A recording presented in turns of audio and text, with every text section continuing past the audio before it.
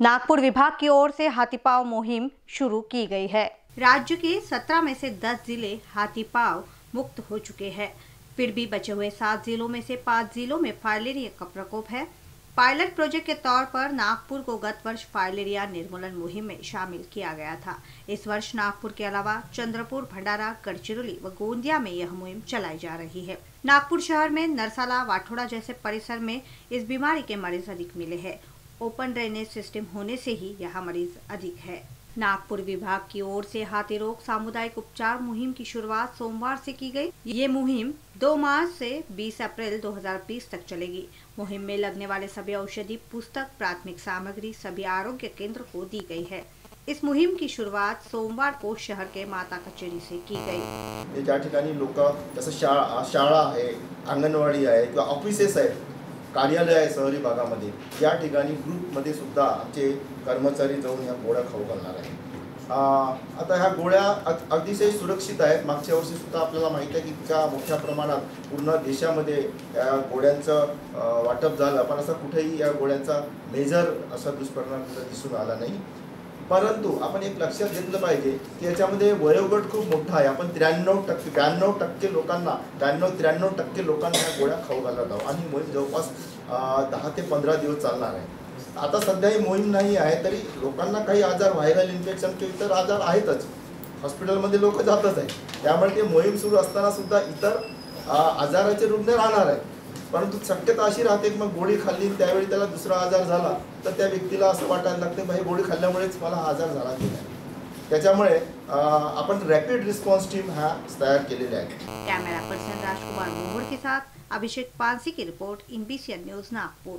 Anil Kumar tea company के नर्मदा चाय के साथ जीतीए क्विड कार योजना का ड्रॉ घोषित। शहर के गांधी सागर तालाब स्थित शिक्षक सहकारी बैंक के सभागृह में हुए इस कार्यक्रम में प्रमुख अतिथि के रूप में भारतीय किरकोळ व्यापारी महासंघ के अध्यक्ष BC Bhartiya, Nag Vidarbha chamber of commerce के अध्यक्ष अश्विन मेहड़िया सचिव राम अवतार तोतला, सह सचिव फारूक अकबानी और संचालक अनिल अहिरकर उपस्थित थे।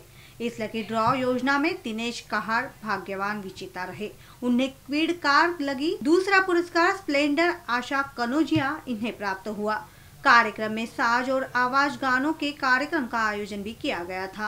Anil Kumar lucky draw car विजेते इथे आहेत. आता इथे देत आहोत. विविध प्राईज होते. ज्यात मोटरसायकल, सायकल्स आणि विविध प्रकारचे इनाम होते. सर्व प्रकार प्रकारचे इनाम इथे आम्ही वितरित मॅक्झिमम लोक इथे इनाम घ्यायला उपस्थित होते. काही इनाम आम्ही डिक्लेअर केलेले आहेत. ते विजेते आपले एक महिन्यापर्यंत आपले आपले इनाम घेन जाऊ शकतात. देखिए, आज सबसे इंपॉर्टेंट है कि हम ग्राहकों को कितना दे रहे हैं और ये एक तरीके से डिस्ट्रीब्यूशन ऑफ़ प्रॉफिट है। हम ग्राहक से जो सर्विसेज़ ग्राहक को देते हैं, उसमें जो दो पैसा हम बचाते हैं, उसमें से एक पैसा समाज को वापस कैसे करें, उस तरफ़ ये कदम है। ये बहुत ही अच्छा अनिल कंपनी का, ये बहुत अच्छा कदम। नमस्कार, मेरा नाम दिनेश कहार है। और आज मुझे प्राइज़ में फ़र्स्ट प्राइज़ कार खुली है।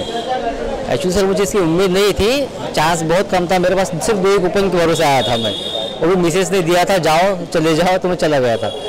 तो उसके लिए मैं अनिल कुमार टी कंपनी इनके सभी जो प्रेसिडेंट है सर सभी टीम मेंबर सभी लोगों को मैं शुक्रिया अदा करना चाहता हूँ। Thank you very thank you very much और प्राइस खुले ना खुले, अलग बात है, लेकिन जो सर्विस है सर की, मेरी मिसेज मुझे बताती है, काफ़ी सालों से उनका रहना वहीं का है, गांजे के चौक का। तो काफ़ी अच्छी सर्विस है, काफ़ी अच्छी क्वालिटी है सब बिलीव करता हूँ मैं उस पर मैं मेरी family thank you sir thank you so much camera person Rajkumar Mohar के साथ अभिषेक पानसी की report, in B news Nagpur. संतरा नगरी शहर से पहचाने जाने वाले नागपुर के कलमनाम मार्केट में इन दिनों संतरे की आवक बड़ी मात्रा में हो रही है, लेकिन इसकी बोली लगाने वालों की संख्या न के बराबर देखी जा रही है।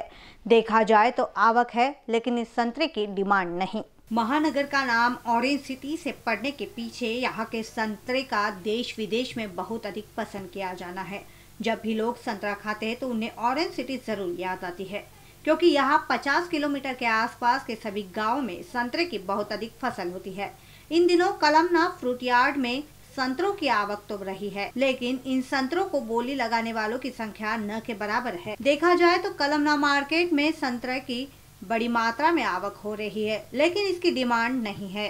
बेमौसम बारिश के कारण संतरों का आकार छोटा होने से इसे भाव भी नहीं मिल रहा। भाव भी ऐसे कि किसानों की लागत भी नहीं निकल पा रही। कलमना मार्केट में भाव अधिक निचले स्तर पर मतलब 6000 से शुरू होकर बारह हज़ार रुपए प्रति टन चल रहे हैं। अच्छी क्वालिटी की बात करें तो इसके भाव ज़्यादा से ज़्यादा पंद्रह हज़ार रूपए प्रति टन से ऊपर चलते हैं। लेकिन इस बार इन भाव के कारण संतरा उत्पादक किसानों की कमर टूट गई है। इसके चलते किसानों के साथ ही संतरे की हालत भी खराब हो रही है। थोक में तो जहाँ संतरे का भाव नहीं मिल रहा, वही चिल्लर में इसके भाव सुनकर ही लोग आगे बढ़ जा रहे हैं। शहर में जगह जगह सड़कों पर संतरों का ढेर लगाकर बैठने वाले व्यापारी संतरे के भाव क्वालिटी अनुसार 70 से 90 रुपए दर्जन से अधिक बता रहे हैं। यानी हर माल की तरह संतरे में भी थोक में सस्ता और चिल्लर में महँगे का खेल चल रहा है। कैमरा पर्सन वीरेंद्र खोपरागड़े के साथ क्षितिजा देशमुख की report in BCN news Nagpur. दुपहिया वाहन पर जा रहे तुषांत सुकेंद्रनाथ भट्टाचार्य इनके गाड़ी को ट्रक ने पीछे से धड़क दी, जिस कारण वे गंभीर रूप से घायल हुए। तुषांत को उपचार के लिए मेडिकल ले जाया गया, लेकिन उसे डॉक्टर द्वारा मृत घोषित किया गया। तुषांत अपने दुपहिया वाहन एक्टिवा क्रमांक इकतीस बी वाई उन्नीस बहत्तर से साड़ी बेचने जा रहे थे। उसी दौरान तेज रफ्तार ट्रक ने एक्टिवा को पीछे से ज़ोर से धड़क दी और तुषांत गंभीर रूप से घायल हुए और इसी हादसे में तुषांत को अपनी जान गंवानी पड़ी है। सकरदरा पुलिस ने आरोपी ट्रक चालक के खिलाफ मामला दर्ज कर आरोपी के तलाश में पुलिस जुट गई है। आज की बुलेटिन में यही रुकते ताज़ा खबर देखने के लिए। आप देखते रहिए इन बी न्यूज़। नमस्कार।